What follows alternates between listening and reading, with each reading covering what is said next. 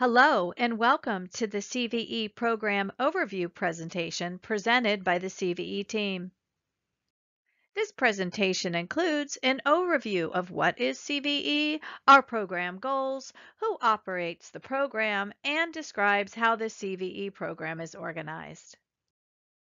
CVE stands for Common Vulnerabilities and Exposures and is an international community-based effort that maintains a community-driven, open data registry of publicly known cybersecurity vulnerabilities. The CVE identifiers, or CVE IDs, assigned through the registry allow program stakeholders to rapidly discover and correlate vulnerability information used to protect systems against attacks. CVE IDs are assigned by CVE numbering authorities, also known as CNAs, which are operated on a voluntary basis by participating organizations. CVE is the de facto international standard for identifying vulnerabilities and exposures. The CVE list feeds the National Vulnerability Database. The CVE program has two main goals. The first goal is to scale the program for broader adoption and coverage. Adoption in new domains leads to greater coverage. Greater coverage leads to broader community participation, which distributes the CVE workload, enables federation, and provides greater utility to consumers. The second goal of the program is to produce more CVE entries faster.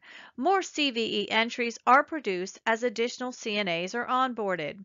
Faster CVE entry population is possible with less complexity, clear guidelines, and with a flexible and automated infrastructure enables early stage vulnerability management and coordination and effective cyber hygiene.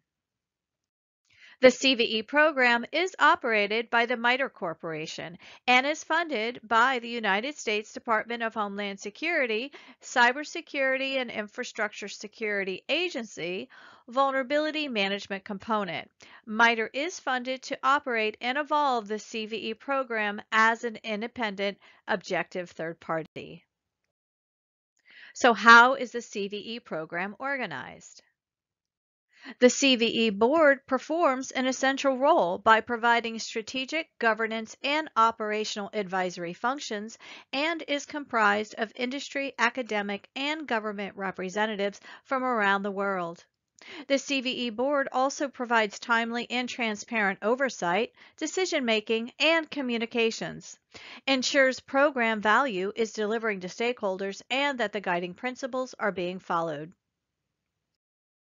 The CVE program is sponsored by the Department of Homeland Security, Cybersecurity and Infrastructure Security Agency, Vulnerability Management Component, which funds the MITRE Corporation to operate the CVE program as an independent, objective third party. The MITRE Corporation is the program root CNA, the Secretariat, and the CNA of last resort.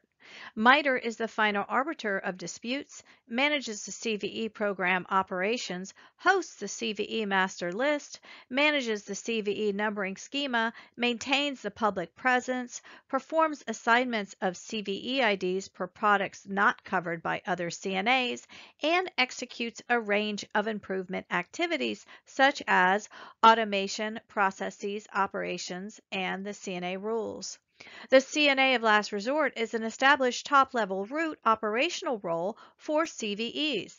The CNA of last resort is a similar role to the CNA role, except the scope is defined as everything not covered by any other CNA. The CNA of last resort is also responsible for coordinating between existing root CNAs if there is a conflicting CVE issue and for identifying new industries where new coverage exists. Root CNAs manage a group of sub-CNAs within a distinct agreed-upon scope. Root CNAs mentor, onboard, and admit new sub-CNAs within the root CNA scope. Sub-CNAs assign CVE IDs for vulnerabilities in their distinct agreed-upon scope and submit the vulnerability information to the CVE list when they make the vulnerability public. Sub-CNAs are administered and mentored by root CNAs. This concludes our presentation.